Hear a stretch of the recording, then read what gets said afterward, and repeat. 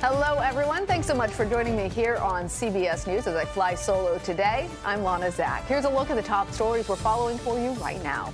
No end in sight for the dangerous heat wave impacting millions of Americans and putting a major strain on power grids across the nation.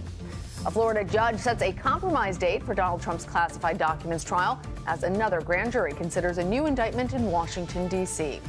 And the White House announces some of the nation's leading tech giants agree to rein in artificial intelligence, but will it work?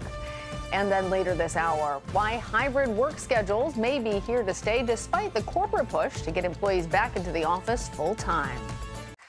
A Florida judge has set a date for the start of former President Trump's federal trial in Florida. Judge Aileen Cannon announced that the trial will begin on May 20th, 2024.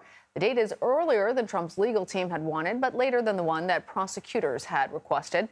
The former president is charged with the mishandling of classified documents in that case.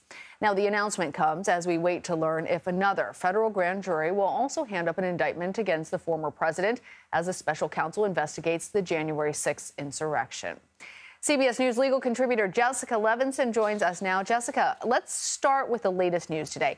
What does it mean that a new trial date has been set in the documents case? Well, it means that Judge Cannon